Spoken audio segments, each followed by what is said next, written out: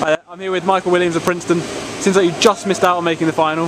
Yeah. How was your first experience with national championships? Uh, it was good. I mean, I came here last year with a DMR. Um, oh, okay, sorry. And uh, it, you know, it's definitely something. It's really cool to like make it for myself. Um, last year I was definitely like sort of carried by my team, and this year I kind of made it for myself. So I just even making here was awesome. I never planned on like doing that.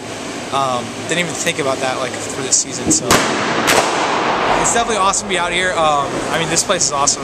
Indoor Nationals is like sort of a sweet thing where it's just like the 16 best people. So uh, it's cool. Yeah. So you're pretty pleased with your indoor season overall? Yeah, definitely. Overall, uh, definitely. I wanted to break forward, I did, um, and uh, you know, I really didn't think that that was even going to happen. So, and you know, obviously, I made internationals. I was third at our conference meet, and uh, so some really good guys. You know, guys that were here today. So it's like you know, it's really good. And for me, it's like a huge springboard to out, outdoors. Um, sort of the first season where, um, you know, I've really had some real success and hopefully get some confidence, like believing that I belong at this kind of stage, which, you know, I do. I do believe that. So, you know, hopefully I'll be All-American outdoors. So Has this maybe changed your plans even for next year? You might try and use it's, that? Yeah, it's funny. I, I uh, somewhere?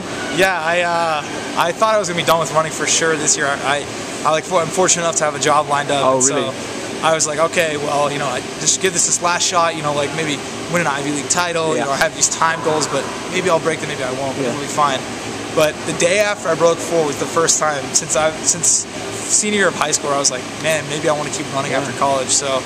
I, you know, I feel like I really haven't hit my ceiling, um, so I don't want to. I don't want to quit while I, while I still feel like I have more to give. So, I mean, yeah, I think I think I'll at least do running in some capacity next year, um, and then maybe you know, in 2016, 2020, try to try to make the trials, try to make the Olympics. Who knows? You know? So. Um, and uh, so you, do, you don't think you're going to go to another college next year? You're definitely going to do this job? Yeah, I think I think I just like this job is like I got I was really fortunate to land like a pretty cool job and I only have cross country um, for eligibility. Oh right, yeah. And so if I had track, like maybe I'd be thinking about it, but Yeah. Because I have cross, um, you know, I, I just feel like I don't want to put that much on hold for one cross season. So um, you know, maybe if somebody comes to me and they're like, hey, we'll give you a full ride here for the fall, maybe I'll Yeah, try to yeah. postpone my job for five months. But yeah, um, I think I'll just probably do it on my own. I'll actually be in Princeton, so hopefully I'll still be working with the team a little bit, Trying working with. Vidge, and Yeah. trying to get some more training in there. How has it been working with Vidge? It's been awesome. Yeah, I- you know, I was really fortunate to have like Coach Dolan for two years. He's at Penn now, he really brought me along and brought me to a level where like having Vidge now, sort of, he has like incredible mid-distance experience, and really has brought me along. Like no one would thought that I'd be here. No one thought that I'd break four, and just working with him, he knows how I work and he knows you know what to do. And I really believe he's one of the best mid-distance and distance coaches, you know, in the country. So luckily enough, he's at Princeton, you know, so it's it's been really good. Yeah. What's the plan now? Have you talked about taking a little break and then building up for outdoors? Or? Yeah, yeah. Uh, fortunately, uh, we're fortunate enough to have like a little spring break uh, trip to Florida. So we'll go out there. We'll have a training trip there, and then uh, I think the next big thing on the docket is we'll be going out to Stanford um, first weekend in April.